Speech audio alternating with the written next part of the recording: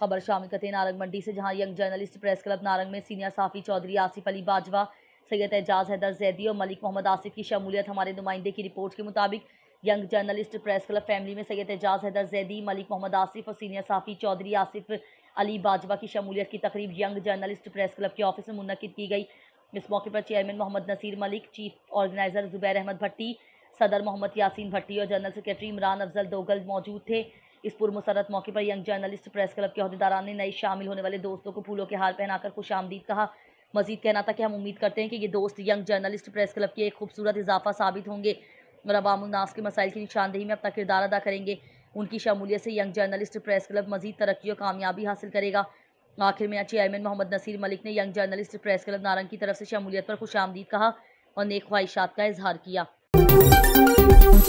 खबर शामिल करते हैं सांगढ़ से, जहाँ बड़े चोरों के बाद छोटे चोर भी मार्केट में आ गए। सांगढ़ करीब गाँव बरहोन में नामालूम चोर, छोटा बच्चा दुकान से दो मोबाइल चोरी कर गया। सीसीटीवी फुटेज मीडिया को मिल गई। सांगढ़ के करीब गाँव बरहोन में अजल गुल संजरानी के मुजाहिद कम्युनिकेशन में चार्जिंग पर लगे हुए दो मोबाइल ओप्पो और टेक्नो नामालूम चोर, जिसकी उम्र तकरीबन तेरह साल है। सीसी फुटेज में चोरी करने वाले बच्चे का चेहरा भी वाजे देखा जा सकता है कि ये बच्चा चार्जिंग पर लगे हुए मोबाइल बासानी ले जाता है। कोहाट सिटी एसएचओ वकार और कैंट एसएचओ इस्लामुद्दीन अगवाकार और उजरती कातिलों का किरदार अदा कर रहे हैं। मेरे चचाजाद को छह रोज से अगवा किया हुआ है। Kohat division property dealers association के सदर हाजी शाहिद महमूद ने कोहाट प्रेस क्लब में दौरान प्रेस कॉन्फ्रेंस इन ख्याल का इजहार करते हुए बताया कि इस्लामुद्दीन एसएचओ और वकार एसएचओ ने हमारे मुखालिफों से हमारे सर की रकम ली हुई है और एक एक करके हमें कत्ल करने का मंसूबा बना रहा है। हुकाम वाला इन दोनों एसएचओ को ज़िला बदर करे, बसूरत दिगर हम हर हम हर महाज पर उनके खिलाफ जाएँगे। अगर उस, उसको मैंने जख्मी किया तो उसी वक्त मुझे कह देता कि यार ये शायद महमूद ने कत्ल किया या मुसदिक ने कत्ल किया। तो वो तो फिर आदमी पे आ जाता है तो उसकी आदमी तसली दे देता है वो देता है।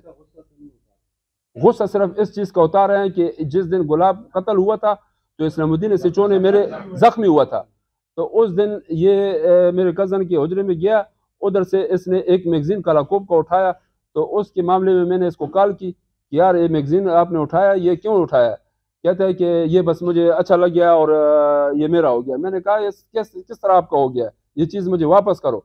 उसके बाद ये जहेब गया। उसके लिए गया, कहता है ये मैगजीन दे दो।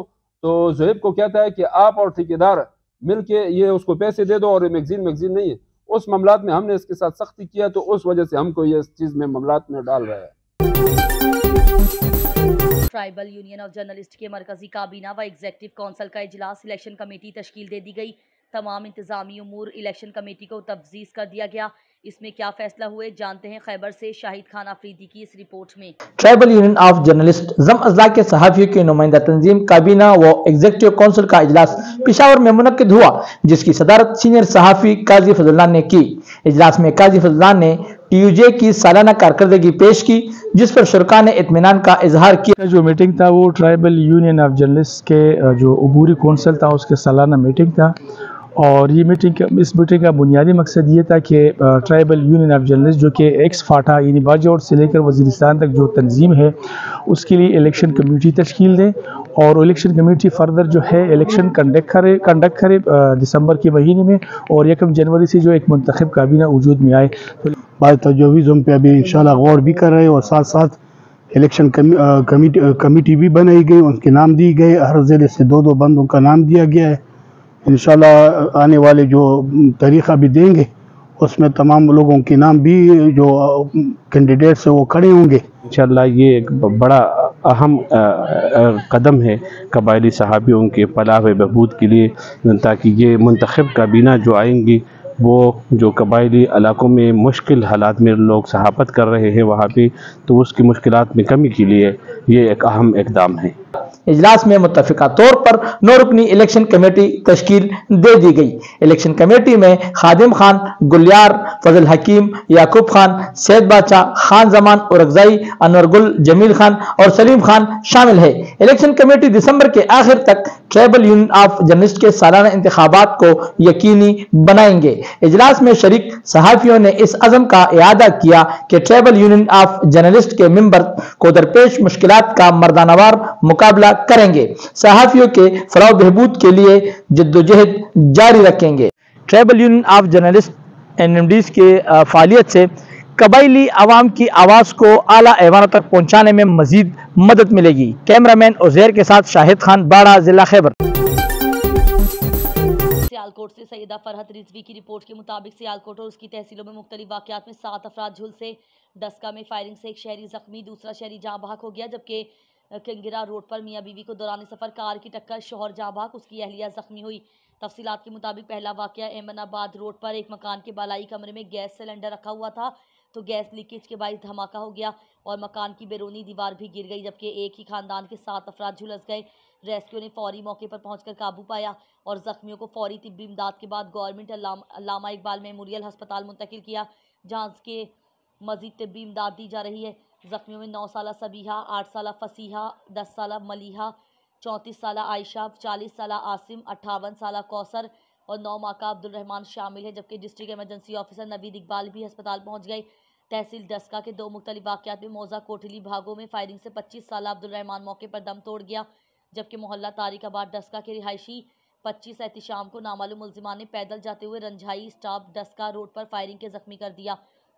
शहरी को टांगों पर गोलियाँ लगी डस्का के दोनों टीएचक्यू अस्पताल डस्का मुंतकिल कर दिया, जबकि किंगरा रोड, फैजाबाद चौक के करीब मोटरसाइकिल पर सवार मियाँ बीवी को तेज़ रफ्तार कार ने टक्कर मार दी। हल्का हादसा में अट्ठावन साल महमूद अहमद सर पर गहरी चोट लगने से मौत, मौके पर दम तोड़ गया, जबकि उन्हें, उनकी अहलिया भी शदीद जख्मी हुई। रेस्क्यू टीम ने फौरी मौके पर पहुंचकर इब्तदाई तिब्बी इमदाद के बाद अस्पताल मुंतकिल कर दिया है। दूसरी तरफ़ पुलिस भी मसरूफ तफ्तीश है। डस्का से मोहम्मद आफ्ताब मलिक की रिपोर्ट। पाकिस्तान पीपल्स पार्टी के उम्मीदवार बराए M N A N A तिहत्तर। डस्का राना महमूद अशरफ और उम्मीदवार बराए M P A P P पचास। डस्का राना फारूक अशरफ की तरफ़ से एन ए तिहत्तर और पी पी पचास। डस्का में chairman Pakistan peoples party Bilawal Bhutto Zardari के 12 दिसंबर गुजरावाला वर्कन कन्वेंशन के हवाले से इस्तकबाल की तैयारियाँ उरूज पर राना महमूद अशरफ ने तहसील भर में अपने महबूब कायद के इस्तकबाल की फ्लैक्स लगवा दी।